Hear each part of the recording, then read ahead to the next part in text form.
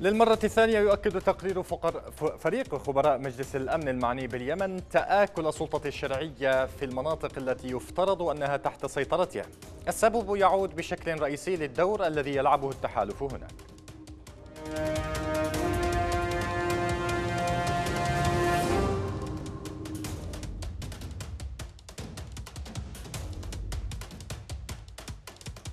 أهلا بكم إلى فضاحر يقول التقرير النهائي المقدم لمجلس الأمن إن تعاظم سلطات منافسة للسلطة الشرعية يدعمها التحالف. جعلت من ممارسة الحكومة لسلطاتها أمرا صعبا. في التقرير عاد الخبراء ليؤكدوا أن انعدام وجود مصالح مشتركة داخل التحالف ضد جماعة الحوثي يفاقم تقسيم البلد ويجعل من استعادة سلطة الحكومة على جميع أرجاء اليمن بعيد المنال. تأكيدان يرى البعض أنهما يلخصان دور التحالف في اليمن بعد أربعة أعوام من الحرب. يؤكد هؤلاء أن مهمة التحالف لم تعد هي ذاتها التي حملها ذات التحالف كشعار لتدخله في البلد.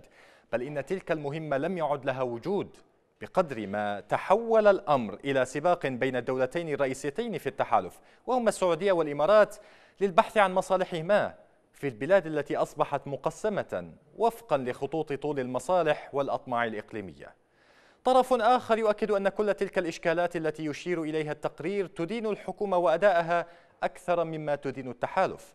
يقول هؤلاء إن التحالف لم ينتج هذه المشاكل بل إنها كانت قائمة قبل أن يأتي.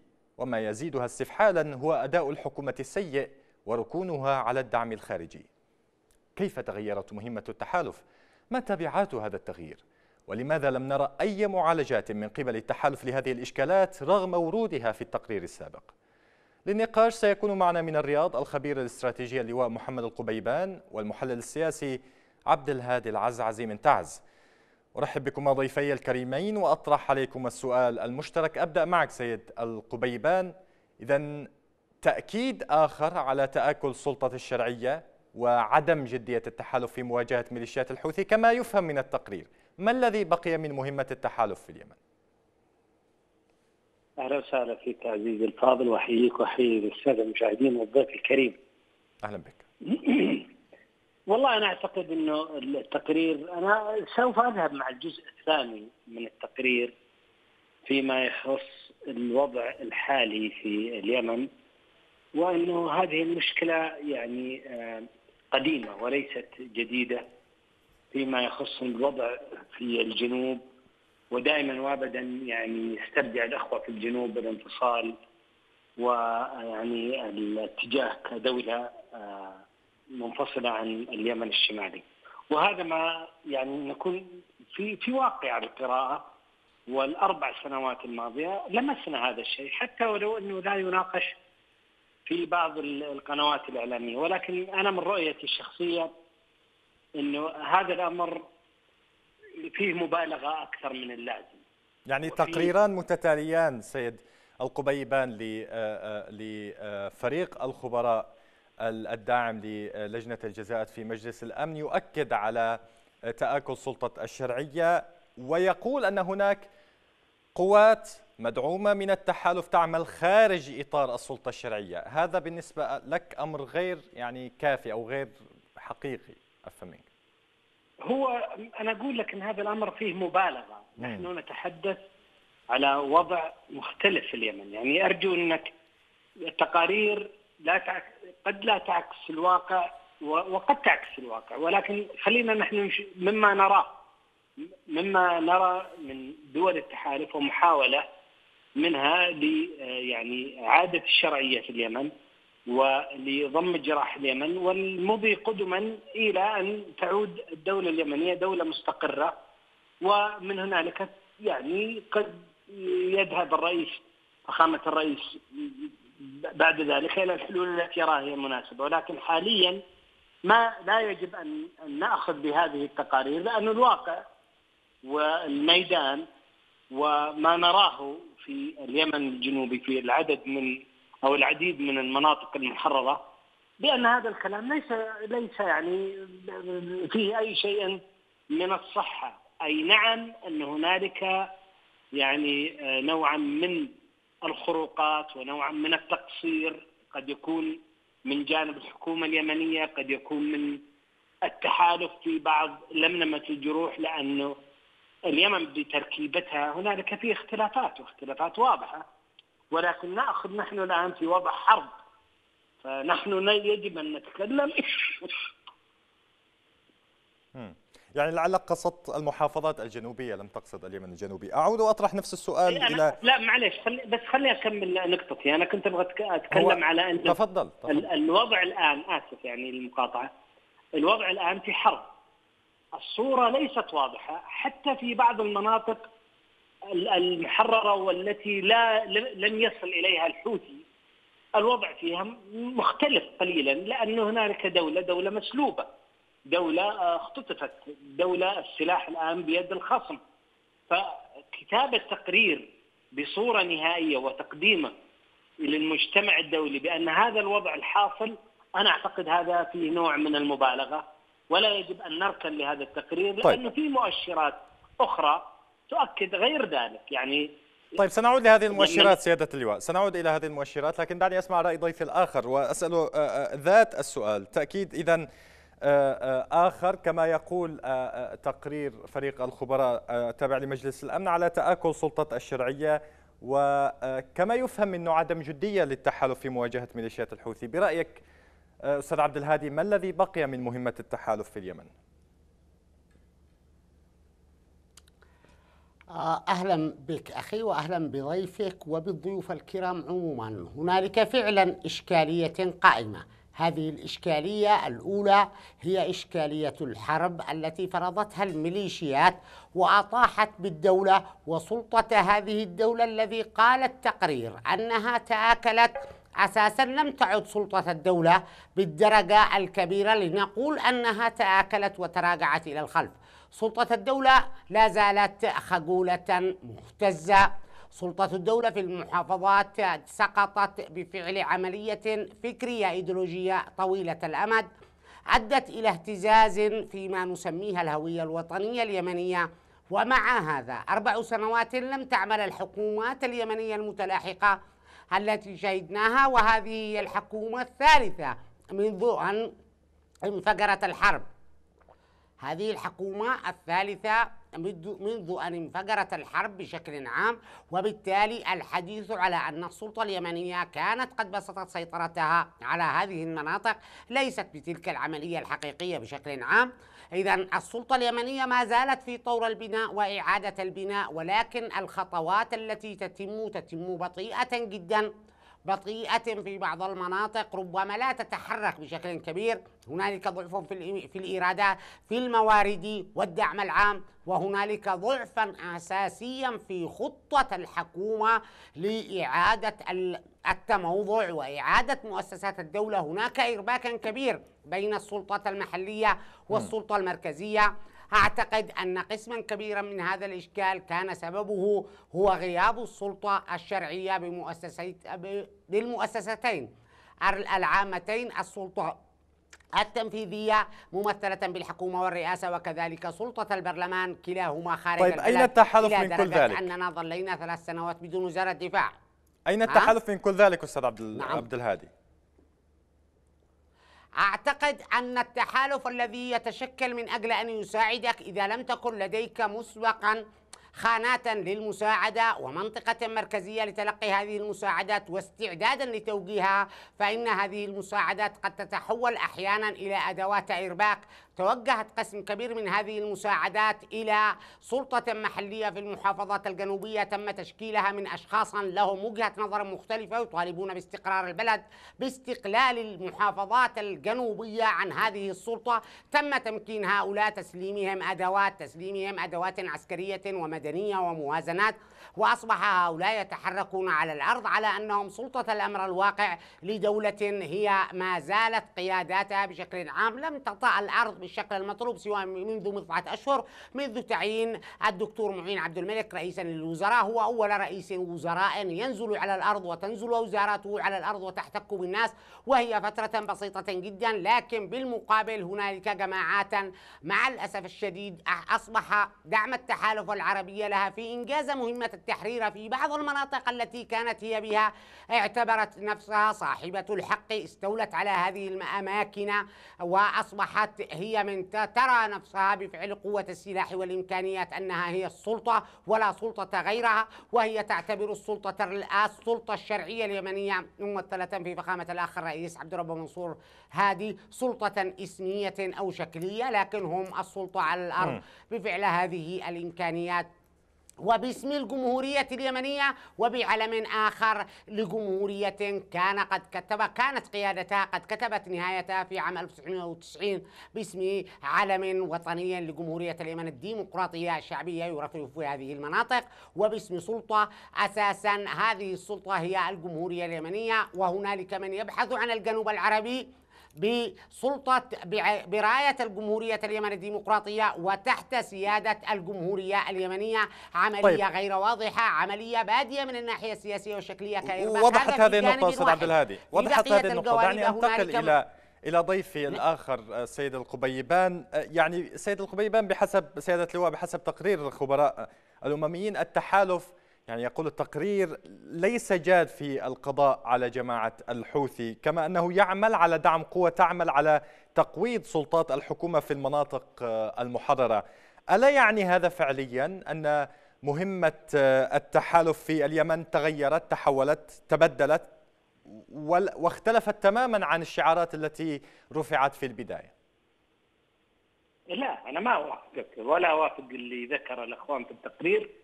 لأنه يعني نحن ننظر من بالصورة بشكل عام وننظر للمشهد وننظر ماذا يحدث يجب أن لا تنسى ما يحدث الآن في الصراع في منطقة الحديدة أو في مدينة الحديدة أو في محافظة الحديدة هو كان له دور كبير في التأثير على مسيرة الحرب بأكملها. يعني نحن على عدد كيلومترات بسيطة قبل أسابيع قليلة من تحرير الحديدة ومينائها ولكن ماذا حدث؟ خرج هنالك السيد جريفيث بمقترحات وتماشى معها فخامة الرئيس وأوفد الوفد إلى السويد. التس... لكن التسريبات تقول سيادة اللواء التسريبات تقول على أن هناك ضغط من التحالف العربي تحديدا من السعودية والإمارات على الحكومة الشرعية للقبول بما حدث في السويد. وإلا هناك أعضاء من الوفد الحكومي اليمني قالوا أنهم لم يكونوا راضيين على مخرجات اتفاق ستوكهولم لا نحن في الأول والأخير أستاذ سمان يجب أن يكون لنا مرجعية في هذا الكلام. هذا الكلام هذا كلام أحد أعضاء الوفد الحكومي ليس كلامي بطبيعة الحال. لماذا لماذا ذهب؟ إلا أن هنالك توجيهات عليا من فخامة الرئيس. فخامة الرئيس هو الشخص الذي له الحق في آه، مثل هذا الكلام عندما يقول إن ضغطت التحالف أو ضغط التحالف على الحكومة اليمنية للذهاب إلى هنالك، أنا أعتقد إن هذا كلام عاري من الصحة، أنا أرى شخصيا انه هذا تفهم للوضع الحالي الإنساني في اليمن ويجب التماشي مع الفكر المجتمع الدولي. حتى تعطى الفرصة أكثر للسلام وإعطاء فرصة أكثر للحوثي لعل وعسى أن يكون ان أن يحقن الدماء. وما أعتقد إنه الذهاب إلى السويد سوف اوقف المعارك في بعض الجبهات. يعني نحن لو نرى جبهة جبهة صعدة بعض الأحيان يكون هنالك في تحركات عسكرية في البيضاء. في بعض الأماكن حتى القوات الأمريكية تتدخل لمطاردة بعض أفراد القاعدة في بعض المناطق الذين يتواجد فيها من أفراد القاعدة. لذلك هذا الكلام أنا أعتقد إنه عاري من الصحة. والمؤشرات طيب يعني آه، كلام عضو الوفد الحكومي عاري من الصحة. كلام لجنة أو فريق الخبراء المشكل من مجلس الأمن المكون من خبراء ال الذي رفع تقريره إلى لجنة الجزاءات في الأمم المتحدة التي شكلها آه، عفوا في مجلس الأمن. أيضا تراه غير واقعي. والكلام الذي تتفضل فيه أنت هو الواقعي؟ لأنه نحن لنا مرجعية بهذا الشيء، لنا ما يتحدث به فخامة الرئيس ولنا ما يتحدث به آه، معالي وزير الخارجية. هؤلاء الأشخاص أي نعم الوفد المرافق هو وفد رسمي ولكن الوفد الرسمي أنت على قناتك هذه طلع عديد من الوزراء انتقدوا التحالف وكان هذا رأيهم الشخصي ولم يمثل الحكومة وحتى الحكومة يعني في في, في وقت لاحق اتخذت بعض الإجراءات مع بعض الأخوان وأنا دائما وابدا أقول لك انه الأستاذ عبد العزيز جبارة أو جبارة أو حد زي كذا تحدث في هذا الموضوع واسهب فيه على قناتكم وعلى العديد من القنوات كيفية إنه بعض أفراد الحكومة لا توافق الحكومة في في في مرئياتها ولكن هنالك احترام لفخامة الرئيس. طيب. الكلام الانشائي طيب. دعنا ننتقل دعني أنقل هذه النقطة إلى السيد عبد عبد الهادي العزعزي. كيف ترى المسألة أنت سيد عبد الهادي؟ برأيك هل فعلا يجب أن نأخذ بمرجعية التصريحات السياسية للرئيس عبد الرب منصور هادي ونترك تقرير فريق الخبراء الذي أعطى تفاصيل فنية على كل ما يحدث تقريبا في الأراضي اليمنية من عمليات سواء عمليات عسكرية على الأرض ربما وكذلك عمليات إيراد الأسلحة وتمويل الميليشيات في اليمن. ونتركه هذا الكلام كله جانبا ونركز على التصريحات التوافقية التي تدعم التحالف العربي من قبل الرئيس عبد الرب منصور هادي. ربما قد لا أتفق كثيرا مع ما ذهب إليه الكلام لكن ما يطرحه المحلل العسكري يبدو آه، ظاهره أن هناك اختلافات كبيرة داخل بنية السلطة اليمنية ممثلة في كل من مؤسستي الرئاسة والحكومة والوفود التي تشكلها الحكومة للتفاوضات وكان سبق للأخ رئيس الجمهورية أن منع الحكومة ومنع أعضائها من التداول في مسألة العلاقات الخارجية وعلاقات الحكومة مع التحالف وهذا أيضا مؤشرا على هذا الموصوف بعدم الاتفاق بين الأطراف. لكن ما ورد في تقرير التحالف فيه في بعض الأماكن نقصا كبير وفيه في بعض المناطق مبالغة كبيرة وفيها في بعض الأحيان نقلا لوجهات نظر لأطراف داخل الشرعية ومؤيدة للشرعية. فعلا هنالك حالة من الإرباك تتحمل مؤسسة الرئاسة اليمنية المسؤولية الكاملة عنها. وعن الحكومة بما معناه أن تغيب غرفة العمليات المشتركة هي السبب الرئيسي الذي أدى إلى تجاوزات من بعض دول التحالف في العمل بالذات في المحافظات الجنوبية وهذا الطرف معروفا ربما لا زالت إلى اليوم أطرافا خلفها ميليشيات عسكرية تتكون من مئات الأطقم والسيارات المدرعة وهي حالة لوجود دولة داخل الدولة وكأننا في بيروت حيث وكأننا في الوضع اللبناني في فترة الكتائب. هذا ما يشاهد في المحافظات الجنوبية. هنالك معسكرات تتبع الرئاسة والمنطقة العسكرية الرابعة وهنالك قوات كنا استبشرنا خيرا أن الأخ وزير الداخلية زار دول التحالف في كل من أبو ظبي والرياض أكثر من مرة وهنالك إجراءات لتسليم الأحزمة الأمنية ولتسليم هذه القوات إلى وزارة الداخلية. وأن هذا الملف سوف يتم حله لكن ضيف الآخر يتحدث على أن الكثير من التصريحات الحكومية تأتي شخصية يعني هؤلاء يصرحوا فقط لأنهم أرادوا التصريح بهذا الشكل ولا وكلامهم ليس محسوب آه، على الحكومة كيف ترى هذه النقطة؟ أعتقد في المسألة الدبلوماسية قد يصرح الإنسان الذي لا يمثل مؤسسة أو هيئة إطلاقا لكن من يسند إليه منصبا سياسيا هنا فقد المسألة الشخصية تماما وأصبح يصرح باسم المنصب الذي ينتمي إليه حين يصرح وفدا من العضو المفاوضة في السويد وهو محسوب على الحكومة اليمنية وكلامه هو مسؤول عنه والحكومة ملزمة به إذ أن هذه الجهات عادة ما تكون الحكومات لها ناطقا رسميا. أو لا يجوز تفويضه أو يحتكر الملف لدى الرئاسة وهي من تشكل الوفد وتحدد ناطقه الرسمي والمفاوضين. الوفد كان فيه مدير مكتب رئيس الجمهورية وعددا من الوزراء ووفدا مرافقا عرمرم وبالتالي هذا الوفد تم باسم الرئاسة فكل عضو فيه ملزمون جميعا بما بكل من الشخصين مدير مكتب الرئاسة ووزير الخارجية. هذان الشخصان ملزومون بكل تصريح وكل جملة يقولونها لكن هنالك إشكالا فعلا حقيقيا يجب أن يعاد انتظام العلاقة بين التحالف العربي والسلطة اليمنية لإعادة ضبط هذه المسألة. اليوم يجري إدانة كل من التحالف العربي والسلطات اليمنية في المجال الدولي بقضايا كثيرة. قضايا تخص الإرهاق قضايا تخص حقوق الإنسان قضايا تخص معيشة المواطنين الرواتب. عشرات من القضايا أخاف أن يتم تجميعها لتتحول ملفات تدين الإخوة في التحالف العربي وتدين السلطة اليمنية. والسبب الرئيسي هو غياب التنسيق الكامل غياب الغرفة العمليات غرفة مشتركة طيب. لإدارة العمليات. وضحت هذه النقطة سيد العزازي. كبيرة على الجميع أن يعي.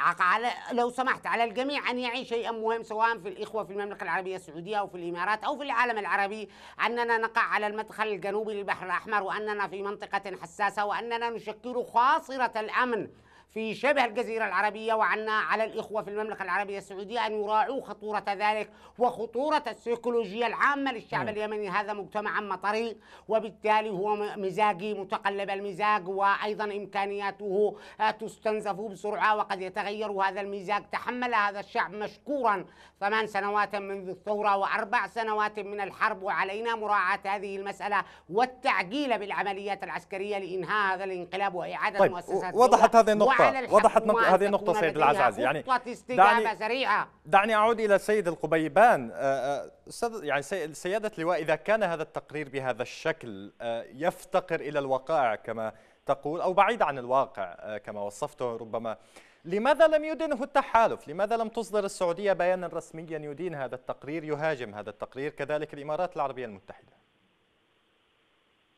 أنا أقدر أقول لك إنه هنالك في يعني آه، رسائل بعث بها التحالف وآخرها في تصريح يوم أمس عندما يعني كانت هنالك رسالة قوية من قبل التحالف وموجهة إلى كل من الحوثي وغير مباشرة إلى السيد مارتن جريفيث لأنه لابد أن يكون هنالك سقف لما يسمى الالتزام بما ورد في اتفاق السويد وإلا الرسائل وجهت وهي تأتي في بعض الهجمات والقيام بعمليات عسكرية ضد مصانع اللي الطائرات المسيرة بدون طيار وبعض مخازن الاسلحه وبعض مراكز التدريب ولكنها بعيدة عن المنطقة التي تم الاتفاق عليها في السويد. فالتحالف يجيب آه، يعني على حضرتك بهذه الرسائل وأنه إذا لم يتم الالتزام بوقت محدد وإلا سنمضي قدما لكن أنت تتحدث عن شيء آخر. هذا الكلام هذا الكلام يتحدث عن تعامل مارتن جريفيث والحوثيين. أنا أتحدث عن تقرير مجلس آه، فريق الخبراء. أمر آخر تماما هذا.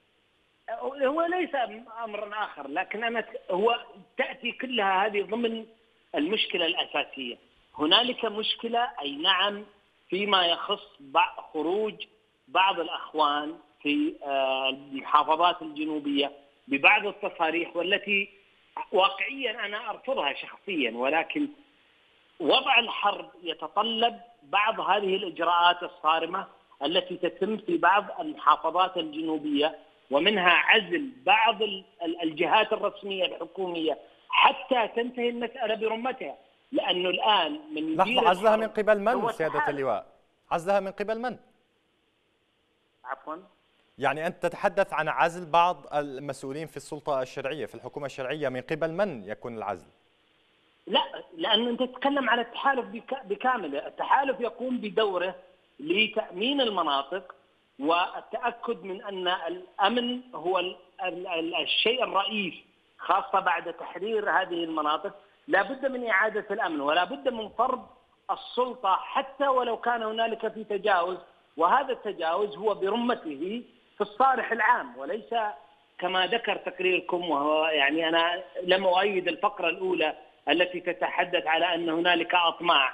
أنا هذه كلمات أنا أعتقد إنها يعني لا مؤاخذة في هذه الكلمة كلمات شعبوية ولا يجب أن ترتقي إلى أن تكون في في في في في, في هذه الأيام. هو ليس تقريرنا هو كلام موجود عند نعم. الناس. نطرحه آه، عليكم لتردوا عليه بكل بساطة. ما أنت معلش لو أخذنا بكل ما ورد في التقارير التي تخرج سواء من المنظمات الحقوقية الحكومية أو غير الحكومية لوقفنا مكاننا ودعنا ولجعلنا الأمر ينفلت عن التحالف عن الحكومة. طيب أسألك يعني سيادة اللواء دعنا دعنا بعيدا عن التقارير الشعبوية والكلمات الشعبوية، في فقرة من يعني فقرات التقرير وربما هي معلومة قد تكون لديك أو لا تكون لا أعلم، يعني يشير الخبراء إلى أن القوات التي أنشأت أنشأتها الإمارات هي بوضع مالي وقتالي أفضل من القوات التابعة للحكومة. بداية يعني هل هذا يعني أو هل هذا ما يهدف إليه التحالف في نهاية المطاف؟ أن تكون القوات التابعة للحكومة الشرعية أقل قدرة عسكرية أقل تسليحا أقل دعما ماليا من تلك الميليشيات التي يشكلها خارج إطار الجيش الوطني؟ ما أعتقد أن هذا أيضا من المغالطات في التقرير لأنه كيف تتحدث بكذا وتم بناء جيش كامل بما لا يقدر عن مئات الآلاف من الأفراد وجهز تجهيز كامل ودرب تدريب وزود بالمعدات الثقيلة والصواريخ البعيدة ودعم من قبل التحالف لإعادة تحرير اليمن، فهذا هذه مغالطة لأنه بناء الدولة وإعادة تدريب الجيوش وإعادة تدريبها وإعادة تأهيلها هذا أمر ليس بالبسيط ولكن تتكلم لي على أمور جزئية. فيما يخص من رواتب إنها أقل أو فيما يخص بأن هنالك دعم مادي لبعض الجهات التي تدعم العملية السلمية، أنا أعتقد هذه مرئيات الحرب وهذا ما يجب أن تقوم به قوات التحالف حتى يتسنى الأمر ويعود إلى السلطة الشرعية. اليمنيه ومن ثم نذهب بعيدا إلى ما بعد الحرب، لذلك لا يجب أن يقاس بعض الأمور وتترك الأمور الجوهرية الرئيسية، يعني لو تتكلم الآن أنت يعني أرجو أنك تخرج عن المحافظات الجنوبية وانظر ماذا يحدث في مأرب انظر ماذا يحدث في آه، صعدة انظر ماذا يحدث من إعادة تأهيل لبعض الأفراد في آه، المناطق التي هي ما جنوب الحديدة والمناطق المحررة التي هي على الساحل الغربي. أنا أعتقد أنه تم تأهيل الجيش وتم دفع الرواتب ودائما وأبدا نسمع أنه مركز الملك سلمان دعم الحكومة اليمنية بكذا مبلغ مليون دولار لإعطاء الرواتب سواء للمدنيين والعسكريين ولكن بعض المناطق التي أنا أراها شخصيا كرجل عسكري يجب أن يكون هنالك تمايز ما بينها ولكنها في ظل وجود الحرب وهذا ما تتطلبه يعني يعني يعني هي أول مرة أعلم أن مركز الملك سلمان يقدم مساعدات للجيش آه، آه، اليمني منك الآن سيادة اللواء. طيب دعني أعود إلى السيد عبد عبد الهادي العزازي. أستاذ عبد الهادي يعني مقابل يعني بالنظر إلى المشاكل التي يطرحها التقرير يتحدث بشكل كبير أيضا على أن المسألة لا تبدو وليدة اللحظة. آه هذه المشاكل كانت موجودة قبل دخول آه أو تدخل التحالف لكن كما يفهم أو يبدو أن التحالف يتحرك في المساحة التي آه, يعني خلت من الفاعلين خلت من تحرك الحكومة الشرعية إن صح التعبير. لماذا يتم تحويل التحالف؟ يعني تحميل التحالف كل هذه المشاكل وكأنه هو الذي ابتدعها. ألا يمثل أساسا المجلس الانتقالي مثلا؟ امتداد للقضية الجنوبية وللحراك الجنوبي السلمي. في هذا الاتجاه أنا أذهب معك تماما فيما ذهبت إليه. يبدو أن الحكومة أو أن السلطة الشرعية اليمنية أغرقت في مقولة السيد المسيح إذا لطمك خصمك على الخد الأيمن فأدر له خدك الأيسر. وبالتالي السلطة الشرعية اليمنية هي الصامت الأكبر طوال كل الأحداث اليمنية. اليوم أنتم تتكلمون ويتكلم الإعلام ويتكلم الداخل ويتكلم هيئة هيئة خبراء الأمم المتحدة المشكلة بموجب القرار 2216 وليست بموجب أي من البيانات أو ما تلاه هي مشكلة بموجب القرار 2216 الذي قامت على أساسه عاصفة الحزم. ومع هذا تكون السلطة اليمنية السلطة الشرعية بفرعيها سواء السلطة البرلمانية التي تعرف بالبرلمان اليمني أو السلطة الشرعية ممثلة بالرئاسة.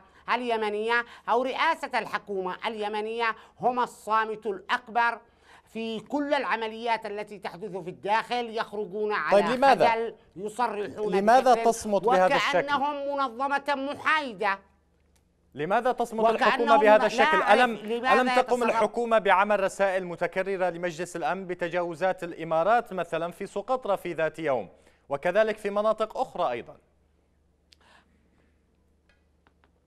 تم إسكات تلك الحكومة بأن عزل رئيسها وعزل وزير الخارجية بعد تلك الرسائل كما طرح الإعلام يومها أن هذه الأسباب الحقيقية للعزل تم استبدالهم ودخلت السلطة بنوع من التسويات مع الأسف الشديد دعونا نكون واضحين نحن من نفقد هذا الوطن أنا أحد مواطني هذا البلد الذي يخشى أكثر ما يخشاه أن يفقد موطنه أو يتحول هذا الوطن إلى صراع بين من حرروه وعلى الوضع الداخلي. وبالتالي نقول أن الحكومة اليمنية مقصرة وأنا أدعو الحكومة أو ممثلة بالسلطة الشرعية اليمنية إلى تحمل مسؤولياتها بكل كفاءة واقتدار علينا أن نلجأ إلى عملية واحدة لإسناد هذا الجانب.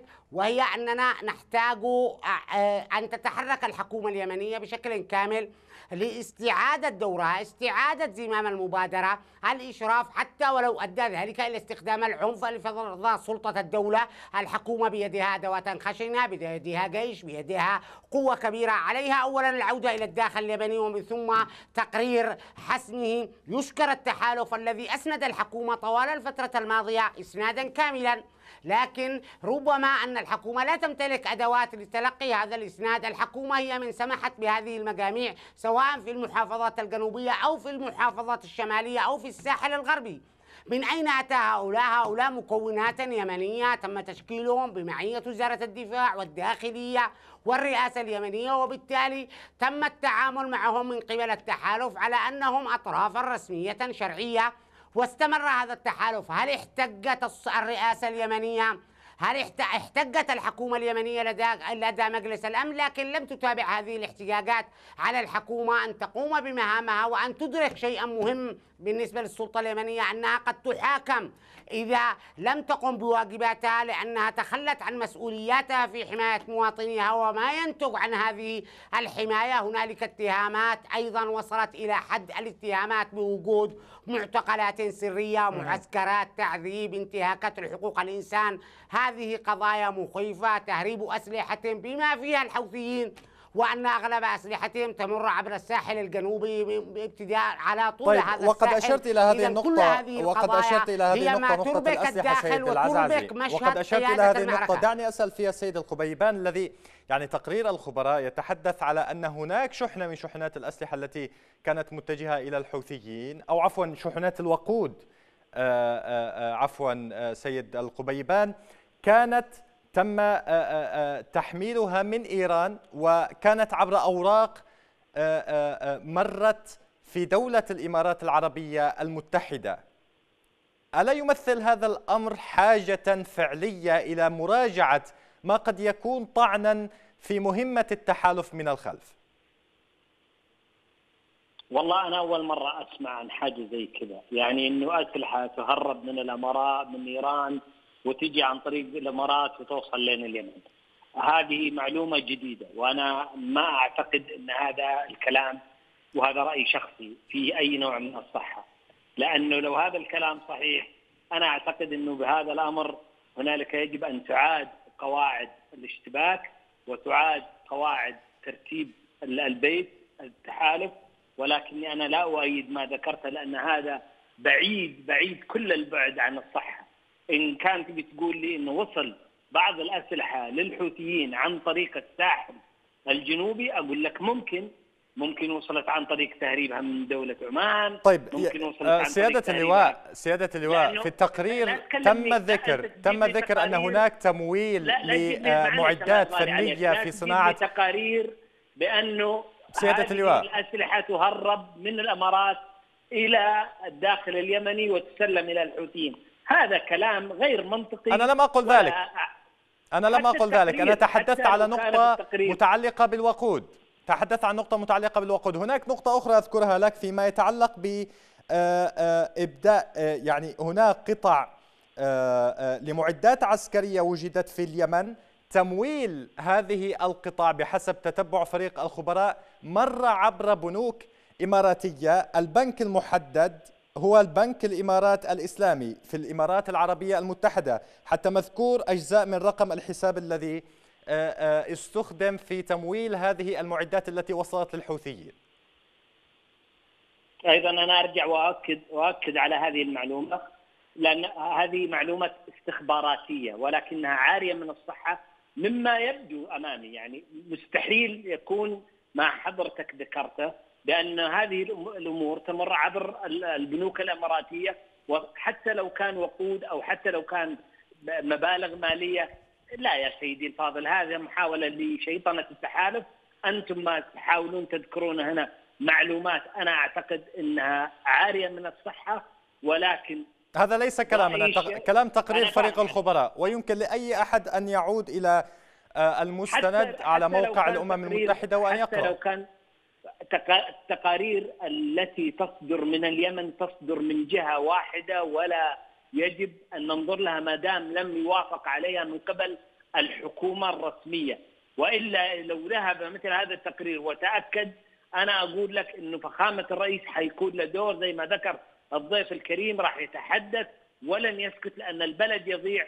فإذا كان مثل هذه الأمور تحدث وتعتقد أن الحكومة سوف تسكت فهو زي ما قال الضيف الكريم عطني خدك الثاني عشان أصفقه لأني أنا بسوي نفسي مثلا إنسان مثالي، لا يا سيدي الفاضل هذه تقارير لم تمر على الحكومة، لم تطلع عليها الحكومة، كتبت من جانب فريق غير محايد أخذت المعلومات من سيادة اللواء وهل لدى الحكومة القدرة؟ يعني سيادة اللواء هل لدى الحكومة اليمنية القدرة الآن على أن تقول لا للتحالف في هذا الظرف لأي شيء يريد التحالف تمريره من سياسات أو من أوامر في الأرض وعمليات عسكرية وأمنية وما شابه هل قادرة الحكومة الشرعية على فعل ذلك؟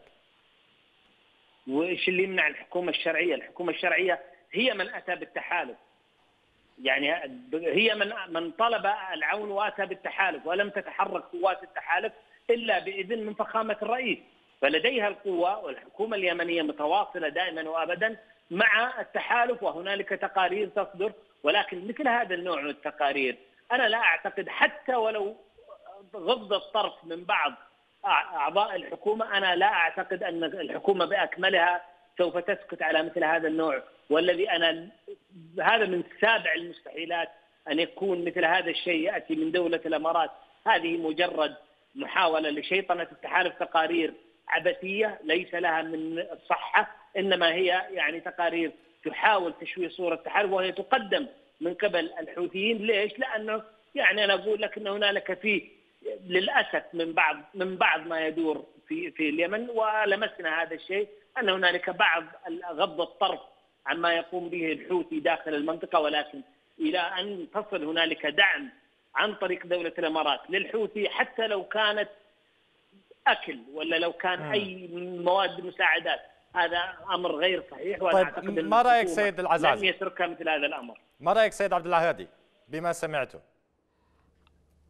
أنا أنا أذهب معه كثيرا فيما ذهب إليه لأن هذا جانب، الجانب الآخر لا غير معقول أن أكون أن تكون الإمارات دولة من الدول المحورية الأساسية في التحالف العربي وتمر تجارة أسلحة عبرها، لكن بالنسبة لشركات النفط معروف أن هنالك عددا كبيرا من الشركات والبنوك تتخذ من الإمارات مقرا لها وهذا حسابا بنكي، البنوك والدولة المستضيفة للبنك لا يحب يحق لها أيضا التجسس على حركة هذه الأموال من داخل هذه الدولة وهذه مسألة مرتبطة بعمل البنوك. هناك صفقات مولتها إيران للحوثيين فيما يخص الوقود وبدأ التحالف العربي يتكلم عنها في الفترة الأخيرة. هذه الصفقات تمت مقابل بدلا من أن تدعم إيران بالمال دعما مباشرا دعمت الحوثيين بمشتقات نفط عبر شركات وهمية أنشأها الحوثيين تتخذ أسماء مختلفة وبلدانا غير اسم اليمن وغير أيضا أسماء لبعض البلدان يعني ربما العربية وهي تتخذ من الإمارات مقرا لها. الإمارات بتصرفات في سقطرى لم ترضى عنها الحكومة الشرعية من قبل؟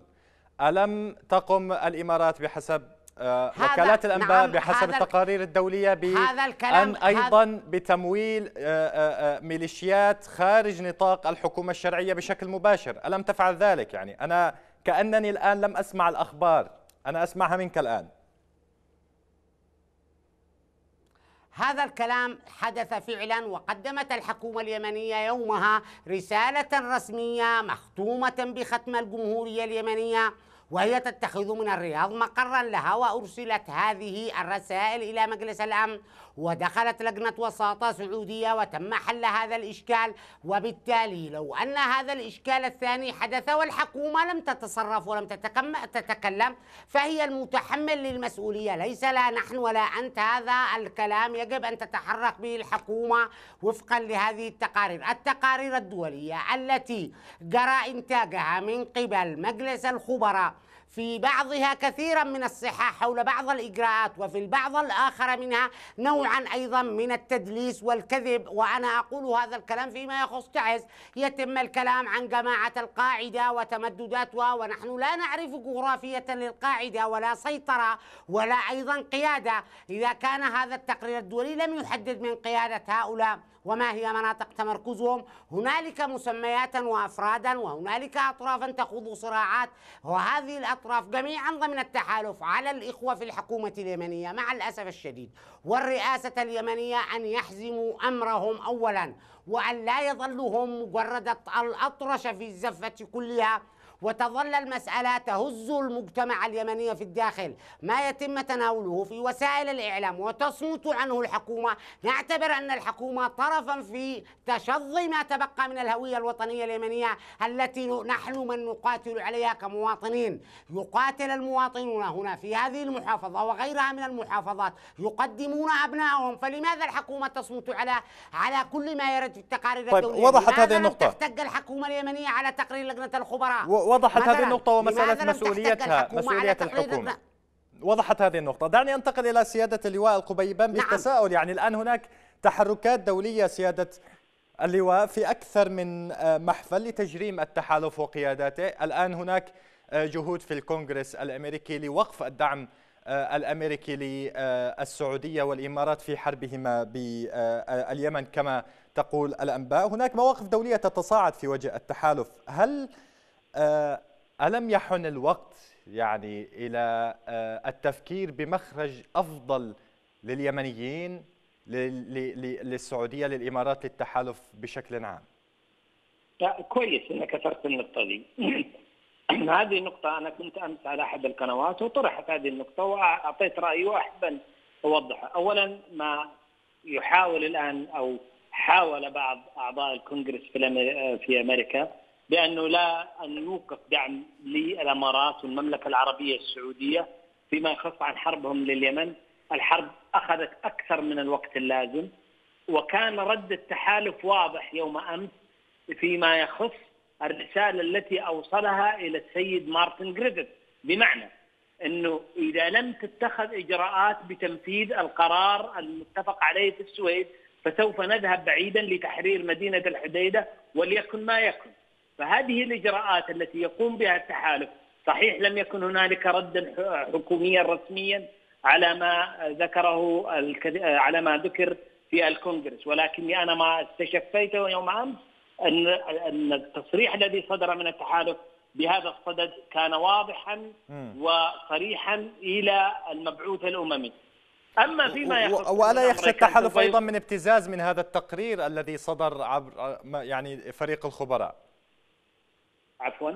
ألا يخشى يعني التقرير تقرير فريق الخبراء مليء بالإدانات للتحالف. ألا يخشى من ضغط دولي أو ما يعرف بالشعبي كما قلت قبل قليل ويعني كما قلت وصفت أنت أن هناك يكون قد يكون ابتزاز. لا التق... هذا النوع من التقارير ليست المرة الأولى سيدي الفاضل التي تخرج من بعض المنظمات الحقوقية أو حتى من مندوبي الأمم المتحدة، رأينا هنالك مغالطات كبيرة في تقاريرهم، ورأينا العديد من المغالطات وحتى لم يتم عرض هذا التقارير على أعضاء الحكومة وإنما الذهاب بعيدا إلى الحوثي، فأنا لا أنظر لهذه التقارير وليس لها من وأثبت كثيرا حتى في بعض الغلطات عندما يقوم التحالف ببعض الاستهدافات ويكون هنالك أخطاء من التحالف. لا أرى بأن هذا أو هذه الجماعات تقوم وبذكر ما قدمه التحالف إما من اعتذار طيب. أو إما أن هنالك علي أن. أعود إلى السيد لذلك العزعزي علي أن يعني أعود إلى السيد العزعزي. بسؤال أخير. آه، بسؤال أخير. للسيد عبد الهادي العزعزي المعذرة منك سي- سيادة اللواء يعني تحويل البلد إلى ما وصلت إليه ساحة حرب بين أطراف عديدة ألا يمكن أن يورط دول الجوار ذاتها بشكل أكبر في المستقبل هذا ب... هذا بكل تأكيد خصوصا الإخوة في المملكة العربية العربية السعودية كونها البلد الذي نمتلك معه أطول شريط حدود بري.